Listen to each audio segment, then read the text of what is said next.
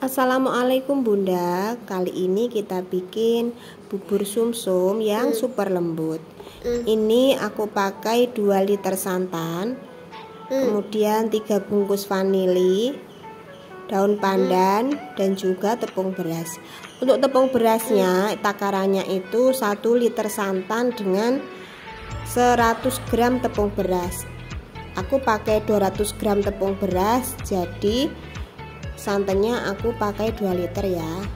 Itu nanti akan menghasilkan bubur sumsum yang super lembut. Nah ini kita campur dulu semuanya. Kita masukkan tepung berasnya. Kita aduk-aduk sampai tidak ada bagian tepung beras yang bergerindil. Kita aduk sampai semuanya larut baru kemudian kita nyalakan di atas kompor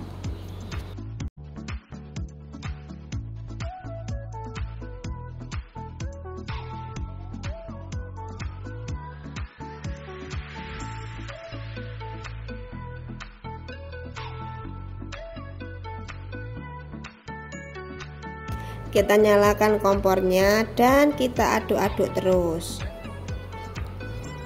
Memang agak sedikit pegel ya teman-teman tapi nanti hasilnya akan lembut sekali. Kita aduk-aduk terus sampai ke dasar panci ya teman-teman. Jadi nanti tidak ada bagian tepung beras yang mengendap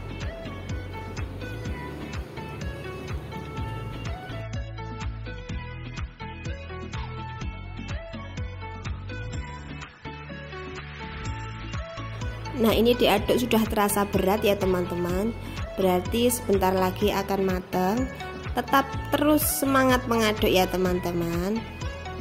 Nah kita aduk-aduk terus. Nanti sampai buburnya itu meletup-letup Baru kita matikan kompornya.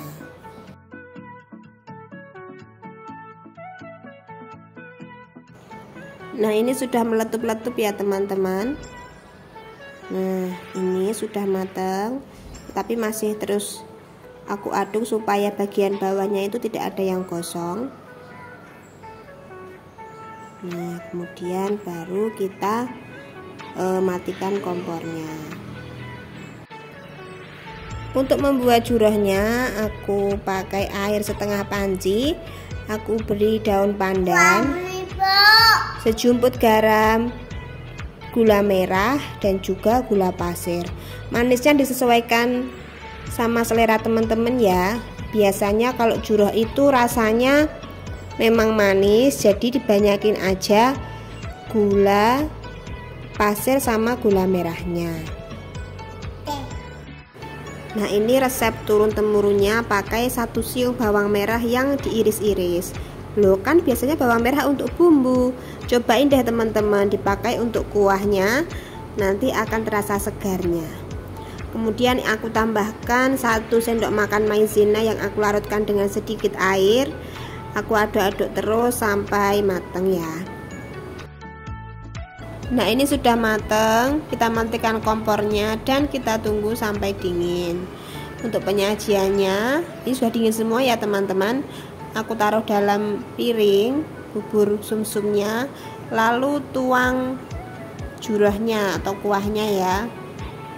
Hmm wanginya benar-benar enak sekali. Kita lihat teksturnya lembut sekali ya teman-teman ini.